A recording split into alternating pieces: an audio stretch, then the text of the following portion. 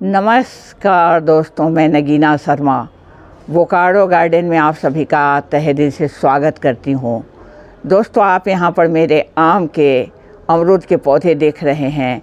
आम, अमरूद, लीची, चीकू, लेमन, जो कोई भी पौधा हो, और आपने उसको खरीद कर लाई है नर्सरी से या ऑनलाइन परचेज किया है तो आपके उसमें कमेंट आ रहे हैं कि मेरा पौधा बढ़ ही नहीं रहा है। हालाँकि मैं जो यहाँ दिखला रही हूँ, उस पौधे में आप देख रहे होंगे, अच्छी ग्रोथ चल रही है। लेकिन आप अगर पौधे खरीद कर लाते हो तो पौधे में क्या कुछ खराबी होती है या लगाने में क्या गड़बड़ी रहती है तो इस पर मैं आज आपसे चर्चा करने जा रही हूँ। दोस्तों, पहली बात है कि जब मैं बात करूँ आपसे कि जब आप नर्सरी से या कहीं से भी पौधे लाते हो तो बहुत नन्हा सा, छोटा सा पौधा लेकर आपको नहीं आना है। कम से कम पौधे की मीडियम हाइट हो, तभी उसको लाया करो। पौधे को चेक कर लो कि वो स्ट्रॉन्ग है या नहीं और उसकी हाइट कितनी है, उम्र कितनी है। दोस्तों, दूसरी बात है कि आप फ्रूट वाले पौधे को कभी भी छाए में नहीं लगाओ। जहाँ धूप होगी, तभी वो अच्छे से ग्रोथ करेगा, नहीं तो उसकी ग्रोथ भी रुक जाएगी और फ्रूट तो नहीं ही आएँगे। दोस्तों, एक कारण ये भी हो सकता है कि आपके पौधे की ग्रोथ रुक गई हो आप इस तरह के इंसेक्ट और कीड़े आप यहाँ अपने पौधे पर चेक कर लो। अगर लगता है कि कुछ कीड़े लगे हुए हैं इंसेक्ट लगे हुए हैं तो वो पौधे को आपको इस तरह से आप देख रहे हैं, सुखाकर मार देंगे ड्राई होकर पौधा मर जाएगा। तो आपको ये ध्यान देनी है कि इस तरह का अगर इंसेक्ट वगैरह लगा हुआ है तो आपको इसको हटाने के लिए इस पर फंगिसाइड, इंसेक्टिसाइड का स्प्रे करके सबसे पहले इसका छुटकारा देना है।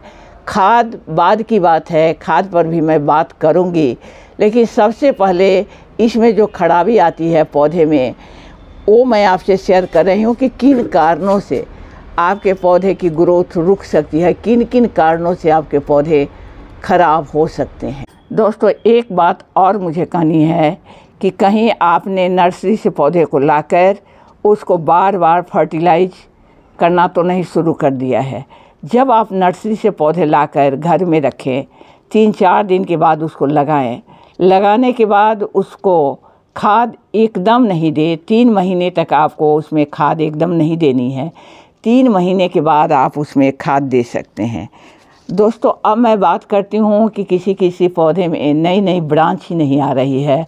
पौधे आगे बढ़ ही नहीं रहे हैं, ग्रोथ उनकी रुक चुकी है। ऐसा जब आपको दिखाई दे तो होमिक एसिड ग्रेनुअल भी मिलता है और लिक्विड भी मिलता है।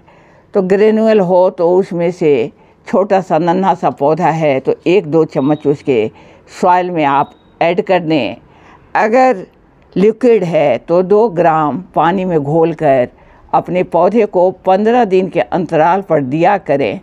तो आपका पौधा ग्रोथ करना, आप देखोगे कि कितनी जल्दी इसकी ग्रोथ होती है, कितना जल्दी ये बढ़ना शुरू कर देता है। दोस्तों, इस तरह से होमिक एसिड का अगर आप अपने पौधे पर पंद्रह दिन के अंतराल में करते हैं, अगर दो तीन महीने के अंदर आपको नए नए ब्रांच नहीं दिखाई दिए, पौधे की वृद्धि नहीं हुई तो फिर आप कमेंट में जाकर हमको बताना। फिर मैं आपसे और बातें शेयर करूँगी।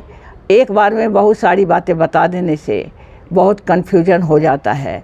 यहाँ आप देख रहे होंगे कि मैं, मैंने पौधे को चूने से जो चूना होता है, उसे उसके स्टेम को रंग के भी रखे हुए हैं, ताकि हमारे पौधे पर दीमक या कीट का प्रकोप नहीं हो। तो दोस्तों, बस इसी जानकारी के साथ मैं आप लोगों से विदा लेती हूँ। वीडियो अच्छी लगे तो शेयर कर देना। जो कुछ भी पूछना हो, आप कमेंट में जाकर पूछ सकते हो। और मैं चलती हूँ, फिर अगली वीडियो में आपसे मुलाकात होगी। तब तक के लिए आप सभी को नमस्कार, आदाब। सत श्रीकाल और मेरे बच्चों को मेरा बहुत बहुत प्यार।